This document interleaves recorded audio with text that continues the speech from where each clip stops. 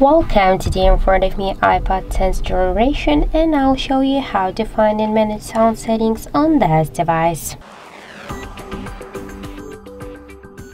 So first let's open the settings application and after that we should click here to the sound section.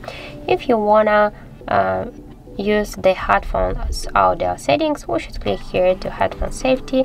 And to reduce loud sounds. We should use the switcher so we can switch here also the level of the decibels. Let's go back here. Uh, we can see here the ringtone volume panel ringtone and alert volume panel.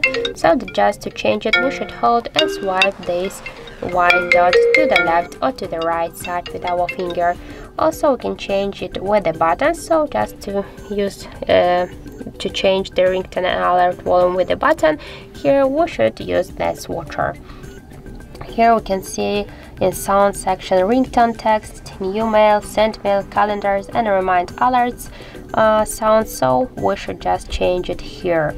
And just to use the keyboard clicks and lock to, and to activate or turn off the lock sounds so we should also use these two switchers so that's it. That's all of the sound settings on our ipad 10th generation. Thank you for watching and if you find this video helpful don't forget to leave a like comment and to subscribe our channel